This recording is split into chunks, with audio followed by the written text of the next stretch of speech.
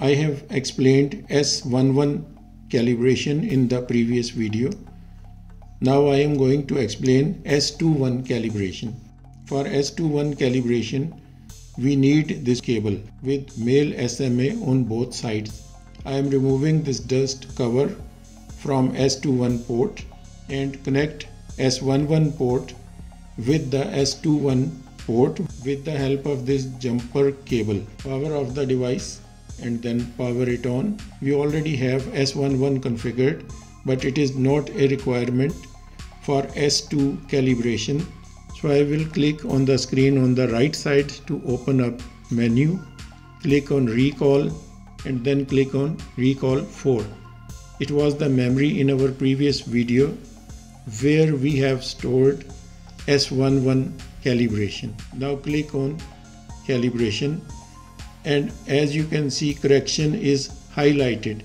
It means it has detected that there is a previous calibration in save for location. If we are doing S21 calibration fresh and we want to erase anything previously stored in this location, we will click on reset. But for this video, do not click on reset, just keep the correction highlighted and click on calibrate. Now you can see we have open, short and load highlighted. That means they are already calibrated. Just click on through. As soon as calibration completes, through will become highlighted. Now it's time to click on done and then click on save.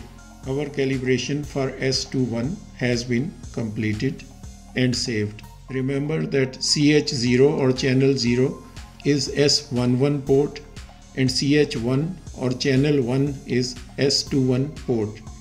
Here we can see CH1 log mag. This means it is showing the readings for S21 port and this is minus 0.0 which is like 0 dB. 0 dB means it has no attenuation and it has no amplification. See you again on another video.